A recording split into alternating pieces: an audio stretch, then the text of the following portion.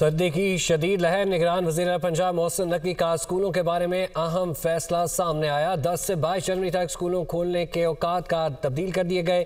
औकात का सुबह साढ़े नौ बजे मुकर कर दिए गए। निगरान वजी अला पंजाब मोहसिन नकवी ने बच्चों को गर्म लिबास पहनने की भी हिदायत की है। सर्दी की शदीद लहर और निगरान वजी अला पंजाब मोहसिन नकवी का स्कूलों के बारे में अहम फैसला सामने आया। इसी बारे में मजीद बात करेंगे। हमारे साथ मौजूद हैं नुमाइंदा खसूसी लियाकत अंसारी। जी, लियाकत अली अंसारी। आज बिल्कुल निगरान वजी पंजाब मौसम नकवी की तरफ़ से इस बात का ऐलान किया गया है कि तमाम स्कूल दस जनवरी से जो है वो मौसम सरमा की तफीलात के बाद खुल जाएँगे। तहम इसके औकात कार में तब्दीली कर दी गई है और 10 जनवरी से लेकर 22 जनवरी तक जो है वो सर्दी की शिद्दत की जो लहर है, इसके पेश नज़र जो है, इसके औकात कार जो है, वो सुबह साढ़े नौ बजे स्कूल खुलेंगे।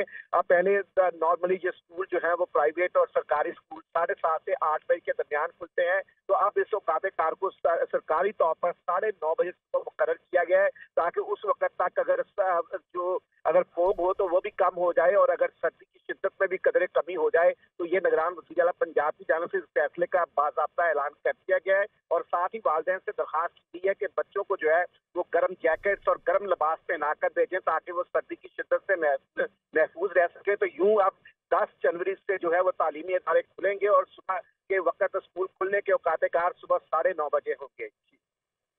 जी, सुबह अवकाश साढ़े नौ बजे मुकर कर दिए गए। निगरान जिला पंजाब मोहसिन नकवी ने बच्चों को गर्म लिबास पहनने की भी हिदायत कर दी। बहुत शुक्रिया। नुमाइंदा खसूसी लाकत अली अंसारी आप हमें अपडेट कर रहे थे।